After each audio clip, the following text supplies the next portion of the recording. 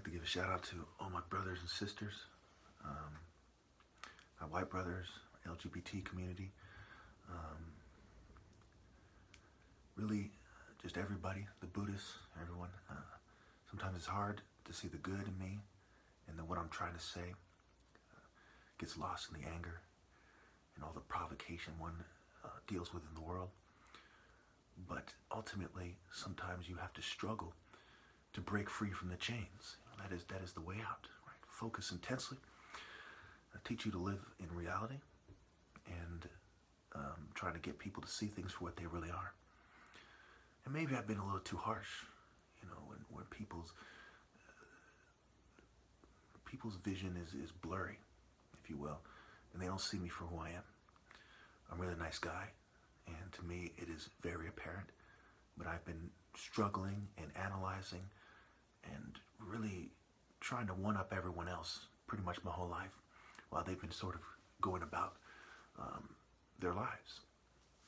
You know, and I'm going to put some pictures on the screen to kind of express who I am. Uh, hopefully, they don't mess with them too much. Uh, when I made my poem uh, to my soulmate, um, really, I was trying to get all women who come across it to see and see that this is what love is supposed to be as I poured my heart out uh, to the best of my ability, I believe, at the time. It's been a while since I've seen the video, and I think I did a pretty good job. And also to set the standard as I struggle uh, to establish uh, who I am and to take my place in the world, my rightful place under the sun, and, you know, to show people that I know how it is to be cheated, be treated unfairly, be alone, uh, live in the middle of nowhere, uh, to feel marginalized, to be marginalized, to be disenfranchised, to live in a world where everyone's at each other's throats, dog eat dog society, where people won't struggle to love each other. I don't think love just as simple as just love each other. It is truly work the angles, figure it out, get to the heart of the matter, and and the heart of the spirit, the core of the spirit, and really love each other. And you'll find that regardless of where you are naturally, it is much more fulfilling. You know, you no longer are looking at people like Maleficent or something, mirror, mirror on the wall. That stuff doesn't matter. What matters is that you have love and that you find your path and your way out of this madness. And perhaps together we could bring God's world, God's true spirit into the world. Um, and that is really what freedom really is. You know, it is that spiritual freedom, that, that mental freedom, uh, that physical freedom, that mind, body, soul, and spiritual freedom that comes from uh, focused intensity to get to love. You have to truly despise the idea of not having love. So, in that sense, this certain resentment can be healthy. It is sort of like the resentment in battle, right? When you're fighting for that which you love, you know. And uh, so, in a, you know, ultimately, you know, strange right now to say it, because I've made a lot of harsh videos. I apologize if I've been too harsh. Uh, that I basically love everybody from my point of view more than everyone else does, regardless of what I say, you know. And this love comes down to me, and I do believe this with all my heart from God. And you know, there's a lot of other things going on here, but this is the truth, you know. And um, you know, so it's it's also hard for me to interact with people because I see the barrier striking back. I I know people aren't inclined to just start opening up to me, right? Some people have been nice to me, and I appreciate it but there's there's these barriers. There's these cultural barriers, there's social barriers, there's financial barriers, there's sexual orientation based barriers. There's certain barriers that we need to get we need to, to break down and you know I believe do it the right way and to to interact with each other and help everybody find true happiness. And I do believe that everyone has something to gain from it. I think uh, you know sometimes where people are in positions in society where they're confused, right? They, they might think that money is true fulfillment they might think that, you know, abusing people and, and animals is true fulfillment. And it's sad because they're cheating themselves. You know, when you get on over on other people, I do believe that you cheat yourself. When you rip people off, I do believe you rip off yourself. You know, I, I've made some mistakes in life, you know, and I regret them. You know, even times when I quote unquote got over, right, when I was younger, you know, a lot younger, um, I regret it. Okay, I look back and I say, man, that's not me. That's not love. That's not how humans should interact. That's not something I'm proud of. You know, I need to struggle to break free from that. And if they force me to live in this con artist world, I need to accept death. You know, either people are going to have true love, you know, or or give me my cross, you know, crucify me upside down, if you will, you know. But yes, I do believe true love is the answer, and I do believe that, you know, uh, uh some of these pictures express that artistically. I do believe some of my poems express that artistically, and I do believe uh, I've done a good job communicating in some videos, but they're buried under the masses of videos where I didn't do such a great job. So without further ado, here are the pictures, and I hope you guys truly see the message that I'm communicating, because I do think that perhaps first and foremost, it is, to, you know, my, my job is to deliver the message, and perhaps the message itself would allow you to fall in line with the divine order, you know, and, and to, and, and what love really is, to find your place. You know, it's like in a, in a when you're going fishing or something, when you're when you're, you're find the place you need to be, you know, to receive God's love, and don't let anything come between you. You know, if you think I'm lying, then scrutinize what I'm saying.